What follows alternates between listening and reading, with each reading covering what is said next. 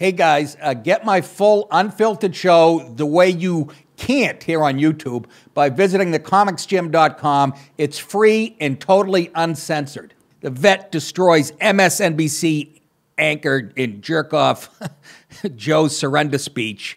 Uh, U.S. Army veteran Matt Zeller uh, was on with Brian Williams. And uh, this was so beautiful. If it was a heavyweight fight, they would have stopped it three minutes in. Uh, it was like watching. It reminded me of a boxer when he gets, or an athlete gets kind of semi knocked out, and they wave uh, smelling salts. That's what it was for Brian Williams. Like, wake up, stupid! Watch uh, Matt Zeller again, a- Afghanistan vet. Um, just look at fucking look at Brian Williams. He looks like a uh, uh, fucking Muppet when the Muppets have a reporter on this. Anyways, watch this Afghanistan. Go, what are you fucking thinking about, Brian? Go ahead. Didn't run from it. He owned it. He owned his decision. He owned the fact that, as he put it, the buck stops with him. I hope he gets to own their deaths too. I, I don't. I feel like I watched a different speech than the rest of you guys. I was appalled. There was such a profound, bold-faced lie in that speech. The idea that we planned for every contingency.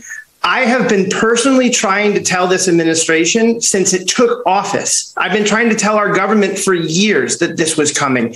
We sent them plan after plan on how to evacuate these people. Nobody listened to us. They didn't plan for the evacuation of our Afghan wartime allies. They're trying to conduct it now at the 11th hour. The thing that they were most concerned about was the optics of a chaotic evacuation. Well, they got exactly what they were most concerned of by failing to do what was right when we could have done it. We had all the people and equipment in place to be able to save these people months ago, and we did nothing.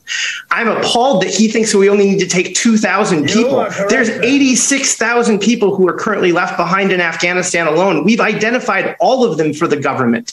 I have no idea why they, they, they he claims that people don't want to leave Afghanistan. I have a list of 14,000 names right now of people who want to get out of Afghanistan. And the idea that the Afghan military should be blamed for this, do you know how many casualties the Afghan military took in an average year? More than the United States did in 20. When you're not getting paid on a regular basis, when you're not getting fuel, when no one is supplying you with ammunition, Okay. and yet you're still showing up to the fight, how dare us for having to blame these people for not having the audacity to be able to survive a Taliban onslaught? No, no, no. What we need to be doing right now, and what I am appalled that the president didn't say, was we need to be talking about how we're going to get every single one of these people out.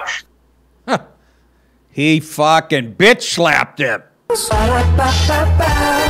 I'm loving it. Hey, Brian, You can't handle the truth. I guarantee the person who vetted that guest at MSNBC got his walking papers or her walking papers three minutes later. That's somebody who was on the ground. I'm surprised Brian Williams, being the lion prick, that didn't go, Don't tell me I was driving the C 17. I saw what happened. I have two purple hearts. Didn't you see me fighting next to you? Remember, he made up all that shit? hey, guys, watch the full episode of The Nick DiPaolo Show uh, for free on Roku, Apple TV, Amazon Fire, Android, iPhone, Android mobile, or on your computer for free by visiting thecomicsgym.com or downloading the Comics Gym app.